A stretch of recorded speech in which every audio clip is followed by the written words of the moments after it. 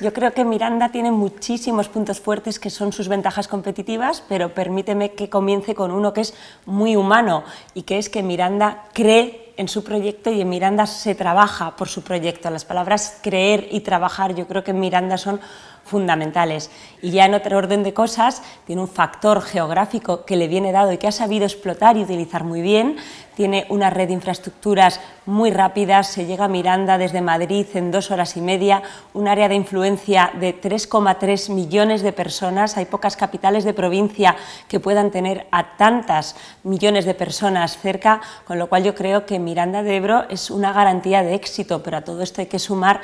otros puntos, otras ventajas, fruto precisamente de ese trabajo humano que te decía al principio, que es el luchar por las empresas, el ofrecerles incentivos fiscales, ofrecerles bonificaciones y el luchar para que los precios en lugares como el polígono de Ircio sean absolutamente competitivos y eso hace que las empresas, sin duda, y más en estos tiempos, apuesten por territorios como Miranda de Ebro. Pues yo creo que esos retos los va a definir el plan estratégico que precisamente presentamos hoy en Miranda de Ebro, eh, pero sobre todo es asentar el modelo que Miranda ya ha puesto en marcha, seguir atrayendo empresas, por supuesto consolidando aún más sectores que ya están muy asentados y con mucha tradición en la ciudad, sectores como el de la logística, pero ir eh, añadiendo a otros que ya han empezado a dar sus frutos y sus primeros pasos en la ciudad, como el sanitario, como el tecnológico, seguir apostando por empresas, por las pymes, por el comercio local, yo creo que es fundamental consolidar lo que ya hay, ir abriendo nuevas vías y, en definitiva, seguir creciendo, creando empleo y desarrollo económico.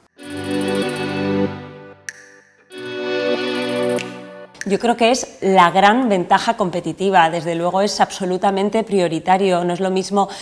hay capitales de provincia que tienen 10, 12.000, 20.000 y, y, capitales de esta misma comunidad autónoma ¿no? y, y, su radio de influencia no llega ni a un millón de personas, sin embargo Miranda, siendo una ciudad de 35.000 habitantes, tiene un área de influencia de 3,3 millones de personas, eso es una oportunidad que tiene que ver cualquier empresa y que de hecho están viendo, porque se están asentando aquí en los últimos años empresas nacionales y multinacionales de primer nivel que valoran eso y que apuestan por Miranda de Ebro. Yo creo que por supuesto, y para muestra un botón, para muestra que hoy estamos en este magnífico Teatro Apolo, vamos a ser más o menos 500 personas, creo que se ha colgado el cartel de no hay localidades, y esto demuestra que Miranda tiene instalaciones para poder acoger a un turismo de negocios, tiene restauración, tiene una oferta variada de hoteles, tiene mucha red de comunicaciones de primer nivel, porque no es lo mismo hacer un turismo, eh, fomentar un turismo de negocios en una ciudad que no tiene transporte público o a la que se tarda muchísimo en llegar, que hacerlo en una ciudad eh, a la que desde Madrid se tarda dos horas y media por autovía y por autopista. Entonces creo que Miranda tiene un nicho que puede explotar y sobre todo tiene muchas ganas. Yo creo que la sostenibilidad eh, tiene una doble vertiente. Por un lado, la sostenibilidad económica, que muchas veces no la mencionamos y es fundamental. Una ciudad con sostenibilidad económica es una ciudad con las cuentas saneadas, como Miranda de Ebro, es una ciudad que tiene presupuesto para seguir invirtiendo donde tiene que estar el dinero, que es en la calle, para que los ciudadanos lo vean y puedan disfrutar, precisamente para poder ofrecer esas ventajas a las empresas que una ciudad sin sostenibilidad financiera y económica no podría ofrecer. Y luego la sostenibilidad medioambiental, que se pone en marcha con medidas como las que tú has mencionado, pero que yo creo que hay que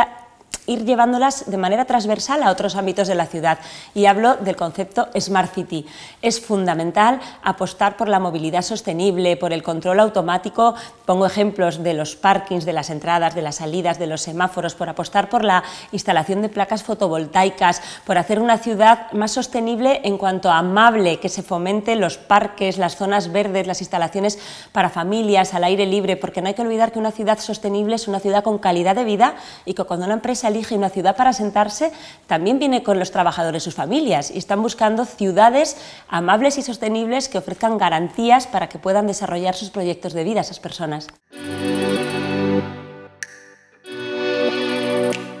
Yo defino a Miranda de Ebro con tres palabras que dos he dicho antes, creer,